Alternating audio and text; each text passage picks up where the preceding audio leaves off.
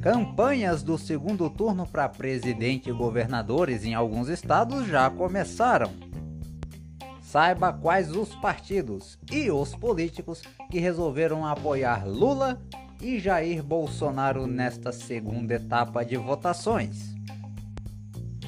E claro, daremos também destaque ao segundo turno do governo do estado de Pernambuco entre Marília Arraes e Raquel Lira. Por isso, se você ficou até aqui, aproveite e tome este cafezinho com a gente. De volta e no ar para todo mundo em mais de 20 plataformas de streaming de áudio, além dos nossos canais oficiais no YouTube e Rumble. E trazido a você, como sempre, pela Anchor, a maneira mais fácil de fazer seu podcast. Baixe agora o aplicativo disponível nas versões para Android e iOS.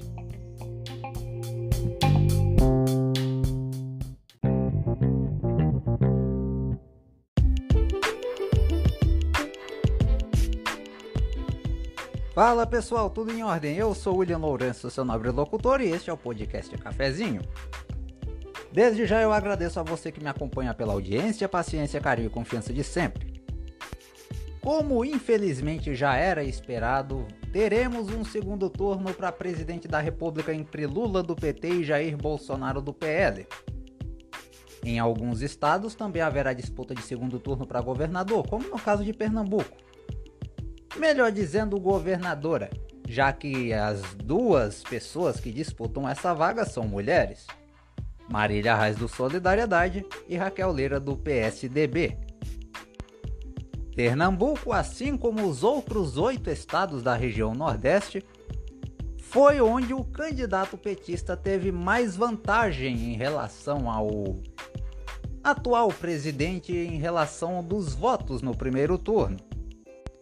Obviamente, isso causou a revolta de muitos puxa-sacos bolsonaristas que resolveram xingar os nordestinos de tudo que foi nome nas redes sociais.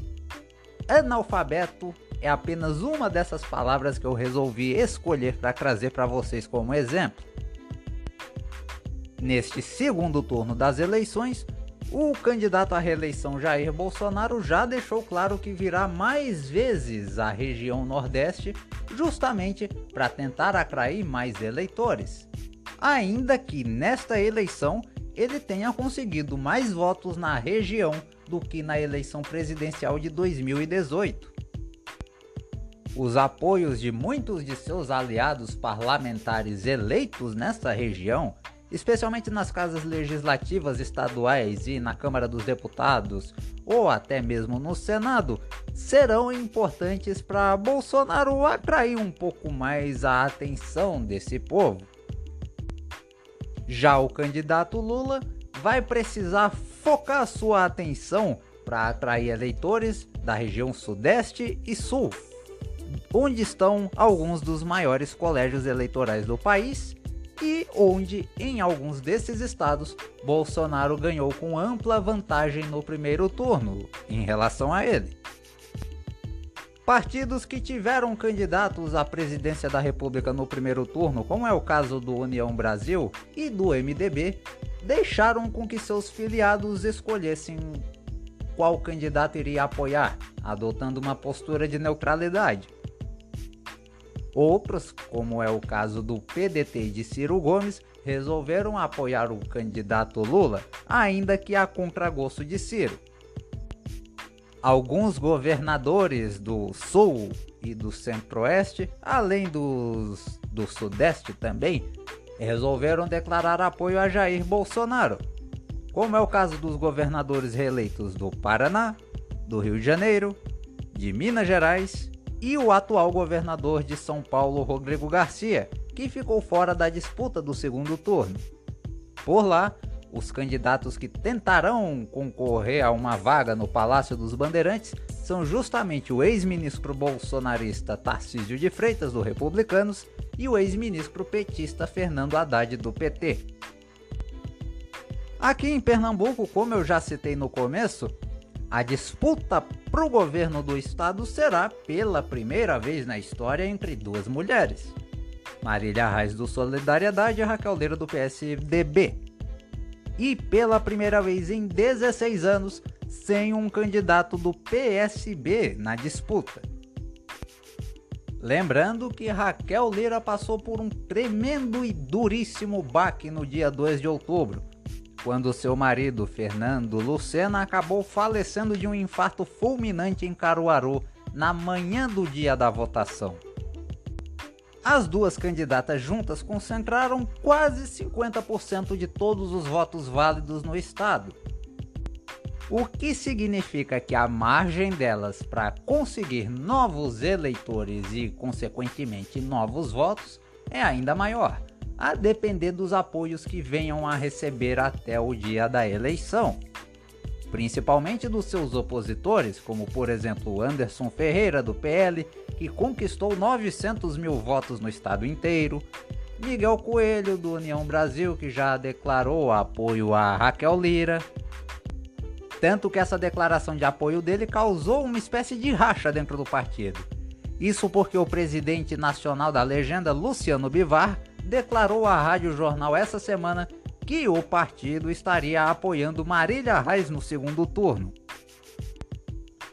Tendo em vista que seu candidato oficial, Danilo Cabral do PSB, não passou para o segundo turno, não chegou nem a, a obter o quarto lugar na votação estadual, o candidato à presidência Lula se viu obrigado a apoiar Marília Reis aqui no estado.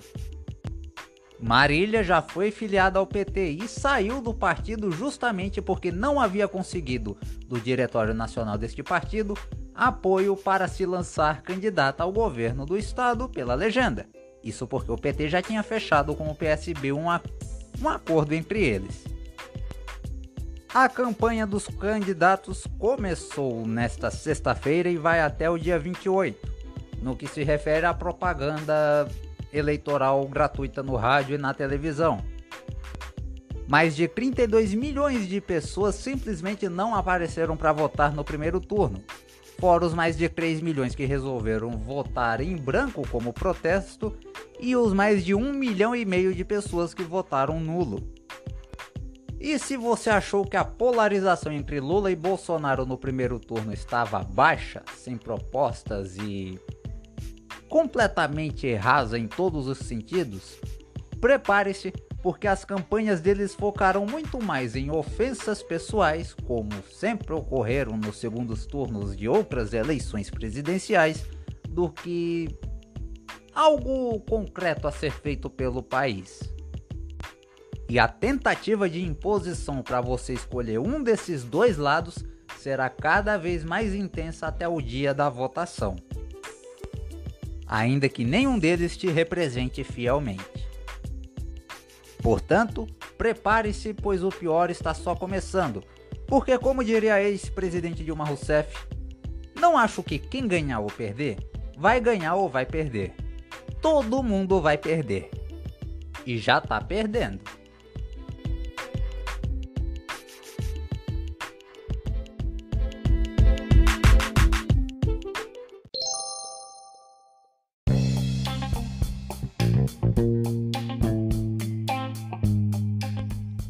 E assim nós encerramos este episódio do podcast Cafezinho, agradecendo a você que nos ouviu pela audiência, paciência, carinho e confiança de sempre.